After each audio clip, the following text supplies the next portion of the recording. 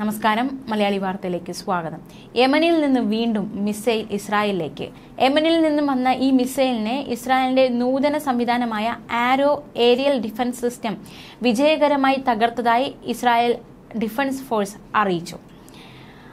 എക്സ്പോസ്റ്റിലൂടെയാണ് I D F ഇക്കാര്യം പറഞ്ഞിരിക്കുന്നത്. യമനിൽ നിന്ന് ഇസ്രായേലിലേക്ക് ഒരു മിസൈൽ തൊടുത്തുവിട്ട് അത് ആരോ ഏരിയൽ ഡിഫൻസ് സിസ്റ്റം വിജയകരമായി തടഞ്ഞു. തടസ്സം സംഭവിച്ചതിനെ തുടർന്ന് സൈറോണുകളും സ്ഫോടനങ്ങളും കേട്ടുവെന്നും പോസ്റ്റിൽ വ്യക്തമാക്കിയിട്ടുണ്ട് ഐ ഡി എഫ്. അതേസമയം ഹിസ്ബുള്ളയുമായുള്ള വെടിനിർത്തലിനുള്ള ആഹ്വാനങ്ങൾ ഇസ്രായേൽ സമ്മതിക്കുന്നില്ല. അല്ലെങ്കിൽ ആ ഒരു വെടിനിർത്തൽ കരാറിൽ ഏർപ്പെടാൻ ഇസ്രായേൽ സമ്മതിക്കുന്നില്ല എന്നാണ് അൽ ജസീറ റിപ്പോർട്ട് ചെയ്യുന്നത്.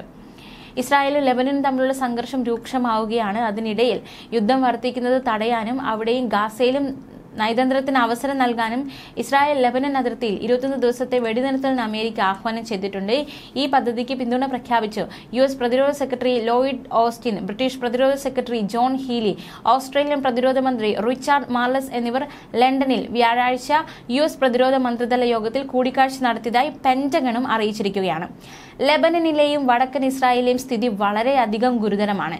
ഇറാന്റെ പിന്തുണയുള്ള തീവ്രവാദ ഗ്രൂപ്പായ ലെബനൻ ഹിസ്ബുള്ള രണ്ടായിരത്തി ഇരുപത്തി മൂന്ന് ഒക്ടോബർ ഏഴിന് ഹമാസിന്റെ ഭീകരാക്രമണത്തിന് പിറ്റേന്ന് പ്രകോപനമില്ലാതെ ഇസ്രായേലിലേക്ക് റോക്കറ്റ് വെടിയുതിർക്കാൻ തുടങ്ങി എന്നതടക്കമുള്ള ആരോപണം ഓസ്റ്റിൻ നടത്തിയിരിക്കുകയാണ്. ഇരുപത്തൊന്ന് ദിവസത്തെ വെടിനിർത്തലിലൂടെ ഉദ്ദേശിക്കുന്നത് ഇസ്രായേൽ ലെബനൻ പൗരന്മാർക്ക് സുരക്ഷിതമായി അവരുടെ വീടുകളിലേക്ക് മടങ്ങാൻ ഒരു അവസരം ഒരുക്കുക എന്നതുകൂടിയാണ്. ഗാസയിൽ വെടിനിർത്തൽ ഉറപ്പാക്കാനും എല്ലാ ബന്ധികളെ നാട്ടിലെത്തിക്കാനുമുള്ള ഒരു കരാർ അവസാനിപ്പിക്കുകയും അത് നടപ്പിലാക്കുകയും ചെയ്യുക എന്നതുകൂടി അവർ ഉദ്ദേശിക്കുന്നുണ്ട്. അതേസമയം ഹിസ്ബുല്ലയ്ക്ക് പിന്തുണയുമായി ഇറാഖി സായുധ സംഘം. ഇറാഖിൽ നിന്നെത്തിയ മിസൈലുകൾ തെക്കൻ ഇസ്രായേലിലെ തുറമുഖ നഗരമായ ഐലാറ്റിൽ പതിച്ചെന്നാണ് റിപ്പോർട്ടുകൾ സൂചിപ്പിക്കുന്നത്. ഈ ഒരു ആക്രമണത്തിൽ വ്യാപക നാശനഷ്ടങ്ങൾ ഉണ്ടായി എന്ന് ഇസ്രായേൽ അധികൃതരും ആരോപിക്കുന്നു. രണ്ടു പേർക്ക് പരിക്കേറ്റു. ചെങ്കടൽ വഴിയാണ് ആക്രമണം ഉണ്ടായതെന്നാണ് വിവരം. നഗരം ലക്ഷ്യമാക്കി മിസൈലുകളും ഡ്രോണുകളും എത്തി. അൽ അർഗാബ് ക്രൂയിസ് മിസൈലുകൾ ഉപയോഗിച്ചായിരുന്നു ആക്രമണം. രണ്ടാമത്തെ ഡ്രോൺ നാവികസേനയുടെ മിസൈൽ വേദ സംവിധാനം നിർവീര്യമാക്കി. ആക്രമണത്തിന്റെ ഉത്തരവാദിത്തം ഇറാഖി സായുധ സംഘമായ ഇസ്ലാമിക് റെസിസ്റ്റൻസ് ഏറ്റെടുത്തു. തെക്കൻ ഇസ്രായേലിലെ തന്ത്രപ്രധാന കേന്ദ്രങ്ങളെ ലക്ഷ്യമിട്ടായിരുന്നു ഈ ആക്രമണമെന്നാണ് സംഘം വ്യക്തമാക്കുന്നത്.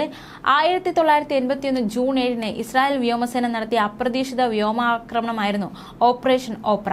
ഇറാഖിലെ ബാഗ്ദാദിന് സമീപത്തായി സ്ഥിതി ചെയ്യുന്ന പൂർത്തിയാകാത്ത ഇറാഖി ആണവ റിയാക്ടറാണ് ഇസ്രായേൽ അന്ന് തകർത്തെറിഞ്ഞത്.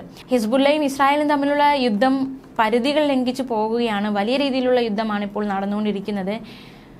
ഹമാസ് ഇസ്രായേൽ പോരാട്ടം കണ്ടുകൊണ്ടിരുന്ന ലോകം ഇപ്പോൾ ഇസ്രായേൽ ഹിസ്ബുള്ള യുദ്ധം കൂടി കാണുകയാണ്. വലിയ രീതിയിലുള്ള ആക്രമണമാണ് അവിടെ നടക്കുന്നത്. പശ്ചിമേഷ്യ അശാന്തമാണ്. ഇനി ഈ യുദ്ധങ്ങളൊക്കെ എപ്പോൾ അവസാനിച്ച് ജനജീവിതം സാധാരണ നിലയിലാകും? യുദ്ധം ഭയന്ന് ജനങ്ങൾ ജീവിക്കുന്ന അവസ്ഥ വളരെ ശോകകരമായ അവസ്ഥയിലൂടെയാണ് ഇപ്പോൾ ലോകം കടന്നു പോയിക്കൊണ്ടിരിക്കുന്നത് ന്യൂസ് ഡെസ്ക് മലയാളി വാർത്ത.